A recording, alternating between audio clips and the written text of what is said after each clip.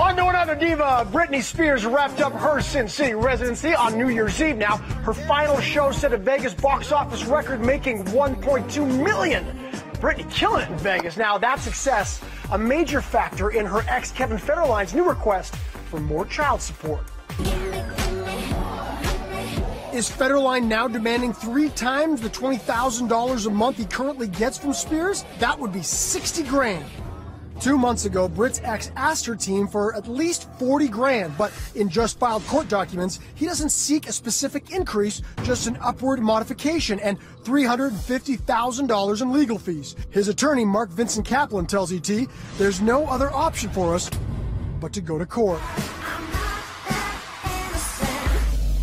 With reports she raked in over $135 million during her entire Vegas run and could pull in 30 million more on her Piece of Me tour, kicking off in July.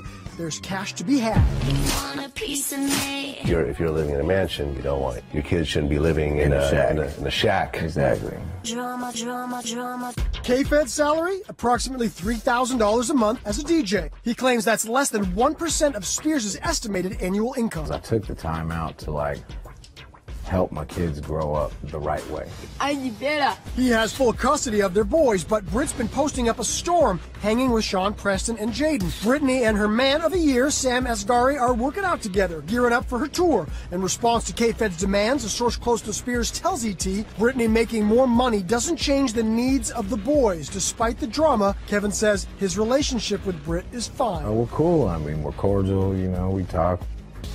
Well, that's good to hear. You let the lawyers do all the dirty work, am I, I right? So. Yeah, all right. A court hearing is set for August 1st. And by the way, Britney's concert dates, they're going to stretch right into September.